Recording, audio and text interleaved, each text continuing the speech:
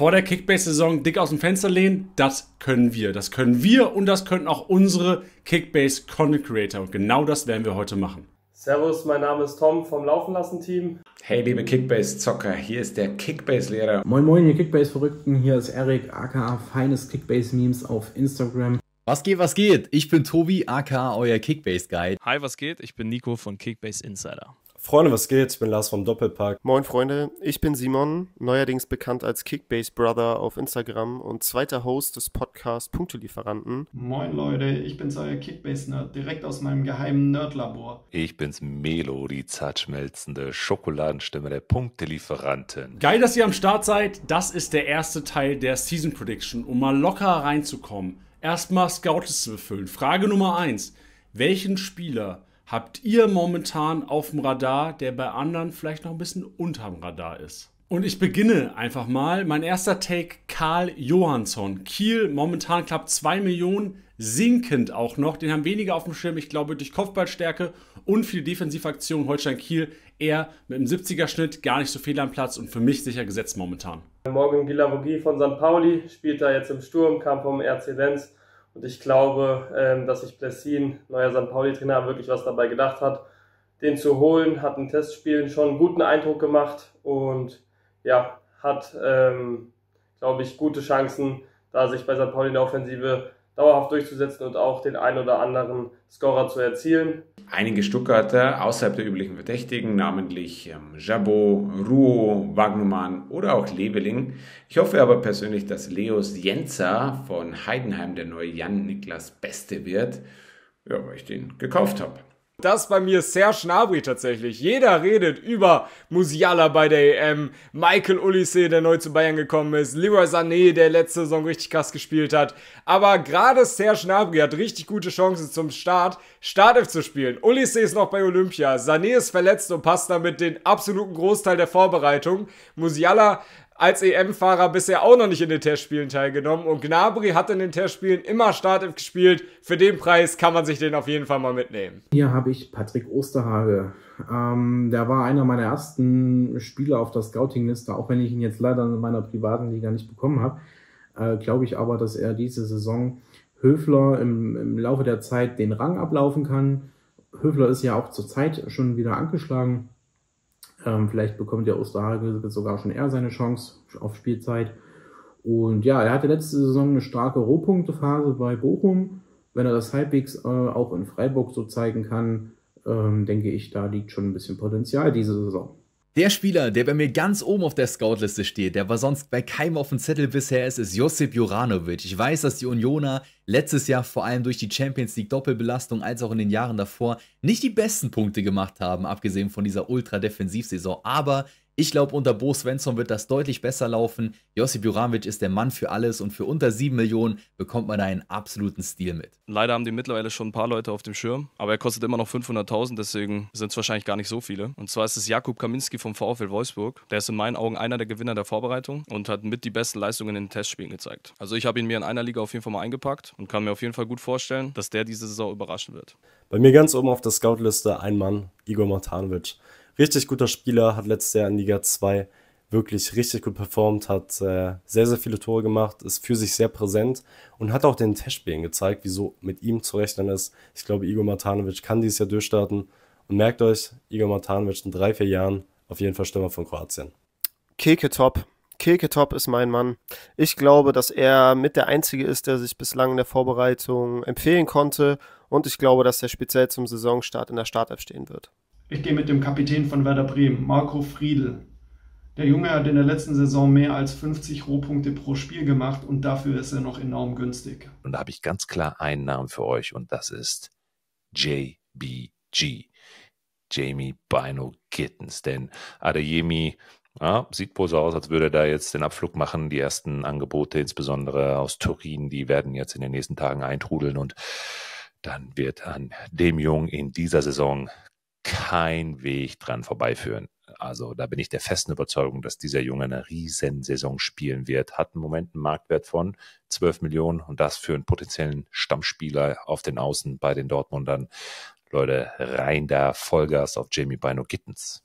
Dann kommen wir jetzt zur nächsten Frage. Frage Nummer zwei. Wen würdest du dir für den aktuellen Marktwert auf keinen Fall in dein Kickbase-Team holen? Auch bei der zweiten Frage darf ich den Pacemaker machen und gehe mit Chris Führig. Mehr als 30 Millionen für einen Stuttgart, was wahrscheinlich schlechter performen wird als in der vergangenen Saison. Für mich nicht das Geld wert, den hole ich mir nicht ins Team. Girassi von Dortmund. Ähm, diesen Spieler würde ich für den aktuellen Preis über, auf gar keinen Fall holen. Ähm, 45 Millionen finde ich sehr, sehr viel, wenn man überlegt, wer noch so in der Preiskategorie ist sind es meiner Meinung nach Spieler, die mehr am Spiel teilnehmen als er. Und deswegen finde ich, äh, ja, an die 50 Millionen, wenn man dann wirklich haben will, für äh, so einen Stürmer zu bezahlen, ähm, recht viel, weil wenn da die Scorer ausbleiben sollten, dann ja, hat man die in den Sand gesetzt. Und das lohnt sich, glaube ich, nicht. Das wäre bei mir aktuell Leroy Sané, weil der 2024 wirklich keines seiner drei Beine auf den Boden gebracht hat und immer wieder von Verletzungen gehandicapt war und vielleicht auch noch ist. Und dafür ist er mir dann doch zu unsicher und zu teuer. Und zudem finde ich auch Jonas Hofmann und Leon Goretzka etwas zu pricey für den möglichen Output. Da bringe ich euch Jeremy Frimpong mit. Der ist von allen Kickbase-Verteidigern der zweiteuerste nur nach Grimaldo und rechtfertigt das einfach nicht mit seinen Punkten. Dazu wird Leverkusen sicherlich nicht noch eine Saison spielen, in der sie kein Spiel verlieren. Das heißt, auch Frimpong könnte sogar schlechter sein als in der letzten Saison vom Schnitt und dann ist er mir einfach deutlich zu teuer. Und hier muss ich mit meinem guten Freund Jeremy Frimpong gehen. Ähm, der kostet zurzeit wie ein Big Boy. Er ist aber kein Big Boy. Und außerdem stehen äh, Wechselgerüchte im Raum. Er hat seinen Wechselwunsch hinterlegt bei Bayer Leverkusen. Ja, und ja, gut, was soll ich sagen? Der Typ ist ist eine Katastrophe vom Tor. Äh, da kann man die minus 15 für äh, Großchance vergeben schon fest in die Punkte mit einplanen. Und ja, Jeremy braucht halt zwingend seine Scorer die er zwar letzte Saison auch unheimlich gut gemacht hat, aber ja, der Typ ist halt einfach keine Rohpunkte-Maschine und ja, deswegen sage ich, ähm, diese Saison Finger weg von Jeremy Frimpong. Bei den Spielern, die man für den aktuellen Preis gar nicht ins Team nehmen sollte aktuell, gibt es einige Optionen. Es gibt ein paar große Spieler wie ein Andrich, wie ein Hofmann, wie ein Delicht, die keine Rolle spielen werden und schon einen ordentlichen Marktwert haben. Aber ich gehe an der Stelle hier mit Lois Openda. Der Mann kostet nur eine Million weniger als Jamal Musiala und das ist völlig Banane. Hat zwar letztes Jahr eine gute Saison gespielt, ich glaube aber, dass das absolut overpriced ist. Also ganz klar Leon Goretzka, der ist aktuell 27 Millionen wert. Sinkt zwar inzwischen schon, aber immer noch viel zu teuer. Ich denke, jetzt vor allem mit den Neuzugängen bei Bayern wird das die ganze Saison schwer haben. Und ist, denke ich, auf jeden Fall kein Stammspieler mehr. Und dafür ist der Preis natürlich viel zu hoch. Ich persönlich finde Frimpong super teuer, ich finde Hofmann super teuer, einfach weil da auch die Gefahr ist, dass äh, ein Frimpong auch den Verein verlässt. Finde ich Stuttgarter auch sehr teuer, einfach aus dem Grund, weil jetzt die Dreifachbelastung ist und ich nicht glaube, dass sie den Abgang von einem Undaf oder von einem Girassi so auffangen können. Deswegen Stuttgarter, Frimpong, Hofmann. Da gibt es eine schnelle Antwort von mir und zwar Chris Führig vom VfB Stuttgart. Er kostet aktuell knapp 36,5 Millionen und das ist mir einfach viel zu viel für zu viel Ungewissheit. Ich glaube nicht, dass er nochmal an seinen 130er Schnitt der Vorsaison rankommen wird. Und dann spare ich mir lieber das Geld auf, plus ein bisschen Overpay für einen der richtig dicken Fische, à la Musiala, Würz, Shaka, Grimaldo oder Kane. Ich gehe mit Chris Führig, weil ich seinen Marktwert enorm sportlich finde und ich glaube, dass er seine Peak-Season in der letzten Saison hatte. Das wird jetzt, glaube ich, eine Menge Mitmanagerinnen und Mitmanager überraschen, aber ich gehe ganz klar mit Pavlovic. Warum? Für den aktuellen Marktwert mit knapp 27 Millionen sehe ich ihn definitiv noch nicht als gesetzten Stammspieler bei den Bayern. Ich gehe eher davon aus, dass er sich eine Menge Spielzeit mit seinem kongenialen Partner Goretzka teilen wird und Pavlovics richtige Durchbruchssaison wird dann erst nächste Saison der Fall sein. Von daher für knapp 30 Millionen definitiv noch kein Kandidat für mich, um zu sagen, da ist ein 4000er auf jeden Fall drin. Ich gehe davon aus, dass er mit seinem Punkteschnitt von ungefähr 96 aus der letzten Saison, ungefähr da wird er sich auch wieder einpendeln bei roundabout 20 Spielen, also für 2000 Punkte und dem Wert ist er definitiv es mir nicht wert. Und es wird Zeit für die nächste Frage. Welches Team wird dieses Jahr überraschen? Ich beginne mit beiden Aufsteigern. Ich glaube, Kiel und St. Pauli sind durchgängig für Kickbase noch zu preiswert, denn sie werden Spiele gewinnen. Sie werden sicherlich mit um Abschluss kämpfen und eventuell wird auch einer davon absteigen Ende der Saison. Trotzdem haben wir gerade defensiv Leute noch nicht so auf dem Schirm. Deswegen für mich Beide Aufsteiger werden aus Kickbase-Sicht überraschen. Da kann ich sagen, dass ich glaube, St. Pauli wird eine gute Rolle spielen. Unter Hützler haben die sich gut eingespielt, ähm, sind eine eingespielte Truppe, haben zwar mit Hartl natürlich auch einen harten Abgang zu verzeichnen, aber trotzdem auf dem Transfer mal gut nachgelegt und auch eine gute Spielkultur, ähm, so dass ich glaube, dass da auch viele Basispunkte fallen werden oder kommen werden. Und deswegen kann ich den ersten FC St. Paulino wärmstens empfehlen. Ja, positiv überraschend ist hier der falsche Ausdruck, aber ich glaube, dass Gladbach, sofern sie noch hinten 1, 2, 3, 7 Verstärkungen fixieren, einen deutlich besseren Tabellenplatz belegen als in der Vorsaison. Also Platz 13. Im Ernst, die Kickbase-Punkte von Gladbach waren letztes Jahr schon ganz okay für die Tabellenplatzierung und ich denke, dass es da einen Sprung nach oben geben wird da habe ich euch den VfL Wolfsburg mitgebracht. Letztes Jahr unter Kovac war das punktetechnisch eine absolute Katastrophe. Aber unter Hasenhüttl sah das dann zum Ende hin schon wieder ganz gut aus. Zum Beispiel Maxi Arnold, die Konstante bei Wolfsburg, hat aus den letzten acht Spielen ca. 120 Punkte im Schnitt geholt. Und das sieht doch schon mal ganz gut aus für die neue Saison. Wolfsburg könnte überraschen. Heidenheim. Ich glaube, viele schreiben die diese Saison ab. Ähm, viele denken, dass sie absteigen werden. Gerade vor allem, weil sie mit Kleindienst, äh, Dingchi, vor allem aber auch Beste, ihre besten Spieler verloren haben. Äh, ich finde aber, sie spielen eine ganz passable Vorbereitung, auch wenn es eher schwächere Gegner sind, äh, können die sich da ganz gut einspielen, vielleicht ein bisschen Selbstvertrauen holen. Und ich sage, sie überraschen damit, dass sie nicht absteigen werden diese Saison. Meine positive Überraschungsmannschaft in der Saison 24-25 ist der erste FSV Mainz 05. Ich glaube, unter Bo Henriksson hat man in der Rückrunde bereits bewiesen, dass man echt eine super Mannschaft sein kann. Man konnte mit Nadim Amiri den absoluten Leistungsträger halten und ich glaube, dass dieses Team hier absolut zusammengehalten wurde. Wenn die es jetzt wieder schaffen, Vandenberg zu verpflichten und Brian Gruder den Verein hält, dann kann ich mir vorstellen, als kleiner Hot Take, dass Mainz nächstes Jahr um die europäischen Plätze mitspielt. Ich sag Borussia Mönchengladbach. Ich bin großer Stöger und Kleindienst-Fan. Jetzt sind sie beide zu Gladbach gewechselt und im Duo könnte das natürlich super klappen. Auch im letzten Testspiel gab es schon die Traumkombi: Stöger Freistoß, Kleindienst Kopfballtor. Da könnte ich mich auf jeden Fall dran gewöhnen. Ich glaube, die Mainzer sind auf jeden Fall eine Mannschaft, mit der man rechnen muss. Ich glaube, in der Rückrunde haben sie gezeigt, dass sie wirklich was können. Gerade mit einem Nadim Amiri, den man geholt hat, hat man einfach eine andere Präsenz im Mittelfeld. Ich glaube, der wird auch echt gute Kickbase-Punkte machen. Und ich glaube, die Mainzer, die, mit denen ist zu rechnen und die werden ja vielleicht sogar um Europa oder so um Platz 8, 9 auf jeden Fall mitspielen. Da habe ich zwei, drei Teams auf dem Schirm tatsächlich und ich entscheide mich schlussendlich für Mainz 05. Ich glaube, dass er in die starke Rückrunde der Vorsaison anknüpfen können, dass Amiri weiterhin ballen wird, wie er es auch in der Rückrunde getan hat. Johnny Burkhardt vorne im Sturm ist bei 100 Prozent. Ich glaube, der wird auch richtig gut knipsen. Und die Defensive steht meiner Meinung nach auch super stabil. Von daher Mainz 05 ein absolutes Go-To-Team und die werden positiv überraschen.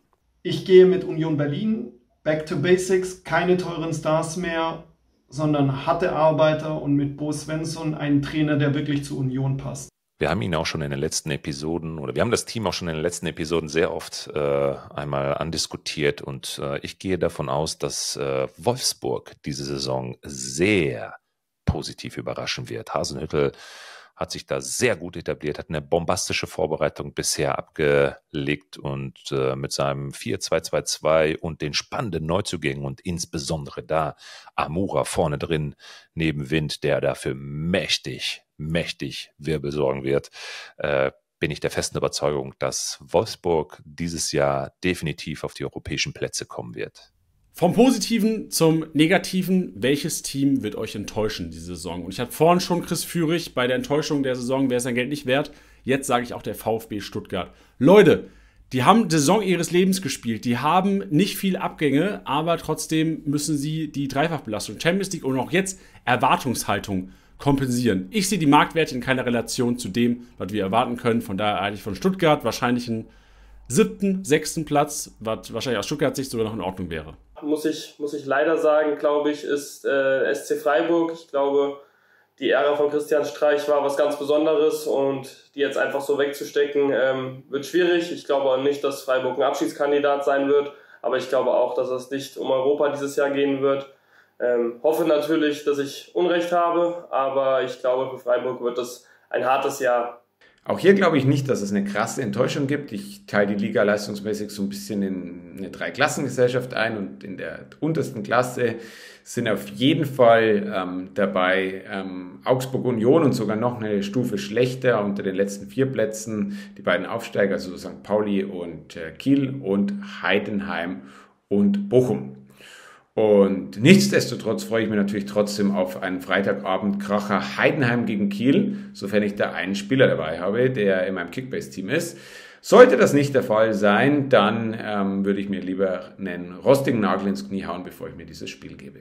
Ich denke, Hoffenheim wird auf jeden Fall eine schlechtere Saison spielen als in der letzten Saison. Einfach letzte Saison sind sie noch in die Euroleague gekommen, ganz zum Ende. Jetzt haben sie Dreifachbelastung. Ich finde, das gibt der Kader auch, was die Tiefe angeht, aktuell nicht her. Ich glaube, das wird man merken und die werden sich gerade zum Ende der Hinrunde ziemlich weit unten wiederfinden. Vielleicht schaffen sie es sich noch zum Ende hin höher zu stellen, aber ich glaube, Hoffenheim wird eine schwierige Saison spielen. Ich glaube, Gladbach und Union können nicht mehr enttäuschen, als sie das letzte Saison getan haben. Deswegen werde ich jetzt nicht mit äh, den beiden gehen, sondern äh, wähle hier eher einen risky Pick, nämlich Frankfurt. Ich glaube, äh, Frankfurt wird sich äh, diese Saison nicht für die Europa League beziehungsweise für Europa qualifizieren können.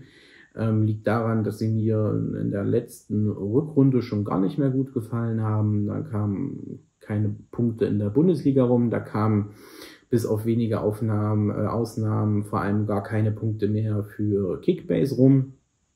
Und deswegen äh, glaube ich, dass sie es diese Saison schwer haben werden und sich nicht für Europa qualifizieren können. Eine Mannschaft, die für mich absolut enttäuschen wird, ist der erste FC Heidenheim. Letztes Jahr auf Platz 8 gefinisht, eine absolute Monstersaison gespielt. Man hat aber mit Beste und mit Kleindienst die zwei wichtigsten Spieler in der Offensive verloren. Und ich glaube einfach, dass es ein zu großer Impact auf diese Mannschaft sein wird und sie deswegen definitiv um den Abstieg mitspielen werden. Also ich habe irgendwie kein gutes Gefühl bei Heidenheim. Die haben jetzt ihre komplette Offensive mit Dingshi, Kleindienst und Beste verloren. Haben zwar mit Wanner und Tschentscher zwei Spieler mit viel Potenzial geholt. Allerdings bezweifle ich, dass Heidenheim auch nur annähernd an die letzte Saison anknüpfen kann. Ich sehe bei Stuttgart die Gefahr, dass sie einfach aufgrund der Dreifachbelastung nicht mehr das zeigen können, was sie letztes Jahr gezeigt haben. Ich glaube, sie sind noch immer eine super Truppe. Ich glaube, es wird auch irgendwas um Platz 6, 7, vielleicht auch Platz 5. Vielleicht aber auch eher so Platz 8, 9, weil ich glaube nicht, dass man einfach diese Dreifachbelastung, die Abgänge auffangen kann. Deswegen meine persönliche Enttäuschung ist der VfB Stuttgart. Das finde ich bislang die schwerste Frage. Da habe ich tatsächlich auch kein konkretes Team im Kopf. Ich habe mich aber schlussendlich dann für die TSG Hoffenheim entschieden. Ich glaube nicht, dass sie sich fürs internationale Geschäft qualifizieren können. Es gibt für mich ein paar Lücken im Kader, die bislang noch nicht geschlossen wurden. Die Defensive sieht in meinen Augen noch sehr löchrig und nicht sattelfest aus. Wenn jetzt Maxi Bayer im Sturm auch noch geht, dann fehlen einige Scorer, die auch erstmal aufgefangen werden müssen. Von daher glaube ich, dass es eine durchwachsene Saison für Hoffenheim wird und sie uns irgendwie unterm Strich enttäuschen werden. Ich glaube, dass der VfL Wolfsburg enttäuschen wird die letzte Saison war schon nicht wirklich gut. Ich glaube, dass diese Saison auch nicht wirklich besser wird. Das Team wirkt für mich immer noch wie ein bunt zusammengewürfelter Haufen mit relativ wenig Struktur. Deshalb gehe ich mit dem VfL Wolfsburg. Tja, welches Team wird enttäuschen? Ich glaube, es ist kein großes Geheimnis, denn das Team, das definitiv enttäuschen wird, neben den Abstiegskandidaten, ist für mich ganz klar Borussia Mönchengladbach wenig bis gar keine Neuzugänge, insbesondere der Defensive keine nennenswerten Veränderungen, gar Neuzugänge. Wer weiß, vielleicht passiert noch irgendetwas während der Saisonvorbereitung, aber ich gehe da nicht von aus. Ein bisschen was in der Offensive haben sie getan, mit Stöger und mit Kleindienst. Allerdings, wenn man sieht, wie viele Gegentore Gladbach in der letzten Saison kassiert hat, wird sich das in dieser jetzigen Konstellation und für die neue Saison definitiv nicht verändern. Und von daher gehe ich davon aus, dass es Gladbach wieder ganz besonders schwer haben wird in der kommenden Saison. Und ähm, ich gehe sogar eher von einem Platz im unteren Tabellendrittel, vielleicht sogar Relegation aus.